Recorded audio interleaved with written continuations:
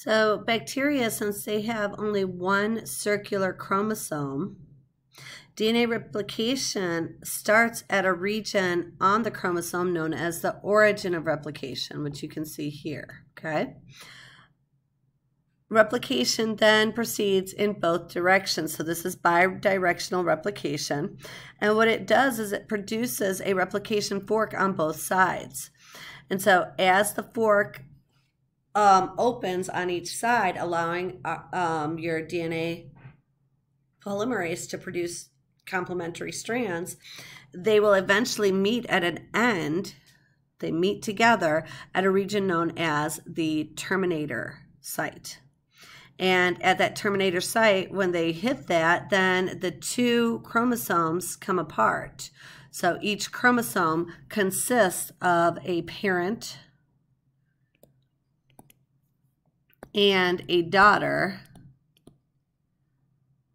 DNA strand.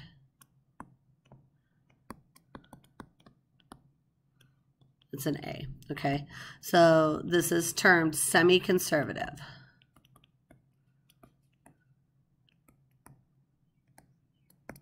Replication, okay?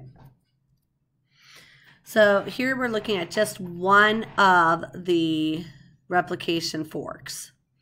And so you can see that helicase is opening it up and your daughter strand is being produced on one side, like I said before, in a 5 to 3 direction continuously, and over here on that lagging strand um, in a 5 to 3 direction, but discontinuously in small sections. Okay. So we always produce DNA in a 5 prime to 3 prime direction. DNA is always read then in a 3 prime to 5 prime direction. So the parent strand we add only to that 3 prime end and then we produce in a 5 to 3 direction. And so our DNA strands, the parent and the daughter strand, will always run anti-parallel to each other. And so here we have if this is the parent strand here, then the daughter strand is going to be complementary and the 5 prime direction starts on the opposite side of the parent strand. Then we have DNA ligase that repairs um, any breaks in the backbone, the deoxyribose and phosphate backbone, so that we end up having two complementary DNA molecules that are identical and that are not broken or damaged in any way. So I've talked about the leading strand over here. And I've talked about the lagging strand over here. And I told you that in the leading strand, we're producing DNA continuously. Lagging, we're producing these tiny little fragments. Um, so that's discontinuous replication. Those tiny fragments actually have a name. They're called Okazaki fragments. They were discovered by an individual, Okazaki. That's where the name came from. And so DNA ligase seals the Okazaki fragments together to help um, produce a smooth copy on both the lagging and the leading strand of DNA. So let's look at um, DNA replication. And so this is just something I made up. Here we have a parent strand of DNA. I've already used helicase and unwound and unzipped it. So here we have um, the 5' prime end. Here's the 3' prime end, 5' prime end, 3' prime end, okay? So an RNA primer is going to be laid down over here and over here, and then DNA polymerase, that's what this is. So this is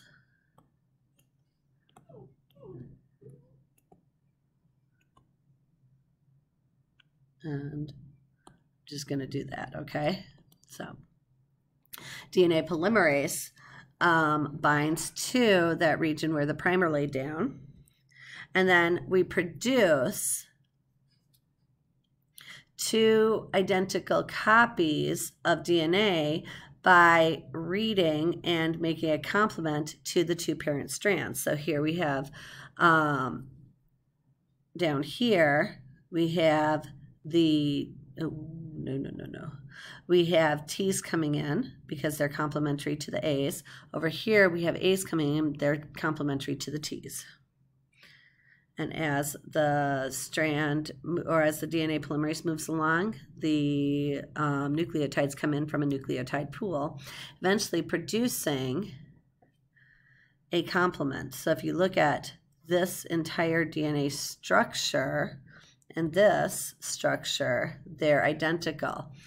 Um, and so the black letters are your parent and the red and blue letters are the daughter. And so, again, this is semi-conservative replication. I'm going to stop here and um, I'll, well, you know what? No, I'm to finish this first. So um, for bacteria, for E. coli, um, replication produces, for all organisms, replication produces two complete copies of DNA so that each daughter cell can receive one. And we've talked about E. coli and how fast they replicate. So they have a generation time of about 20 minutes, but it takes E. coli to replicate their DNA um, about 40 minutes. So that would make you confused possibly on how they can they can replicate DNA um, before they actually replicate the cells. And the reason they can do that is as the DNA is being replicated, oh, geez, um, one as one copy. So here's your chromosome, right? And here's that origin of replication. And So we're producing in both directions, right? Um, new copy. As that's going on, a second round of replication of the chromosome starts on the new strands that are being produced. So we have replication occurring within one replication round. We have another replication round occurring. So the the chromosomes are replicating and are halfway through their replication by the time they enter the new um, E. coli cells. So, really crazy stuff goes on. Um, e. coli can do a lot of cool things. All right, I'm going to stop here and um, we'll get into transcription in our next video. All right, bye.